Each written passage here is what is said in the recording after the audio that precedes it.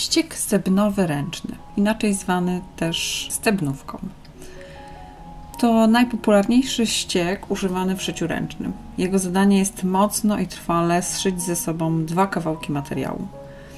Po prawej stronie przypomina ściek maszynowy, pod warunkiem oczywiście, że jest wykonany dosyć dokładnie. Stepnówka często mylona jest ze ściegiem za igłą.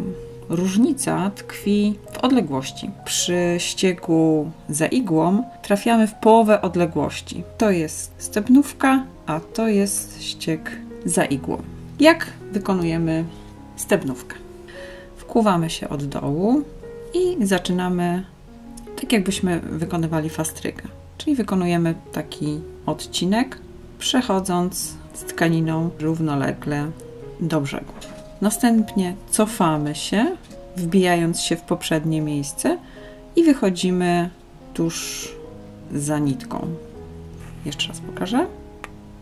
Cofamy się w poprzednie wykłucie nitki i wychodzimy troszeczkę dalej. Bardzo dobrze jest i ściek dobrze wygląda, gdy te odległości są mniej więcej podobne. Pokażę teraz jeszcze, jak wykonać ściek za igłą.